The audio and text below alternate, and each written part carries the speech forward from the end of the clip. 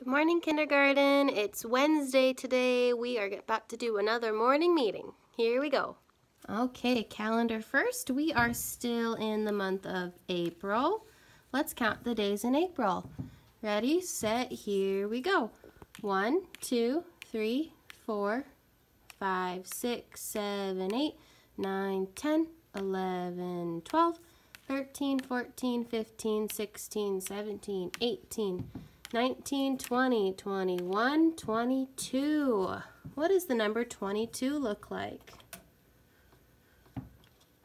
It's got to be a 2 and then a 2, right? 22. Let's move our clips forward. Perfect. All right, now I got to change my numbers at the bottom. All right, so today is the 22nd. So a 2 and a 2. Yesterday was the 21st, so 2 and a 1. Tomorrow will be the 22, 23, a 2 and a 3. Perfect. All right, now let's go to our question of the day. So go ahead and pause, go ahead and pause the video here. See if you can pick out any of our words before I read the question to you. Okay, there are lots of words in this question that we should know. First word, this says how. That's one of our sight words, how. W, ill, will. You should know that word. We all should know this word, the. We should know this word, little. This one we can sound out. T, a, g, g, tug. The, should know this word, up, and the word the again.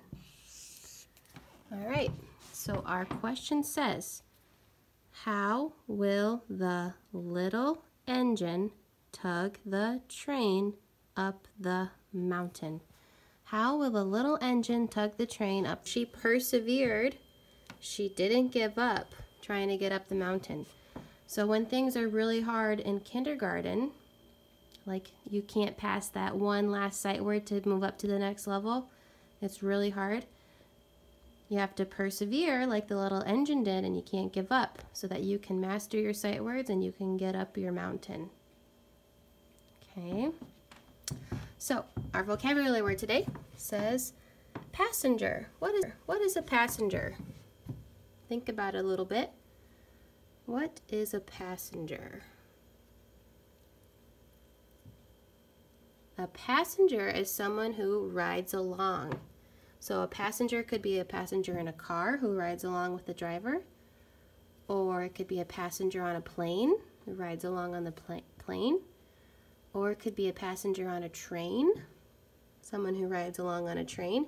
So there are lots of different lots of different ways to have a passenger and they're usually always with something that has to do with transportation. So cars, trains, planes, tractors, those types of things. Awesome. All right, and today's Wednesday, so I hope that you guys find a little bit of time today to either watch Mass Online on the St. St. Mary Cardinals Live YouTube channel, or maybe just find some time and say um, your Hail Mary, Our Father, and Glory Be. And just think of someone that you want to pray for today and maybe say a little prayer for them. All right, well, I hope you guys have a great day, and I will see you tomorrow morning.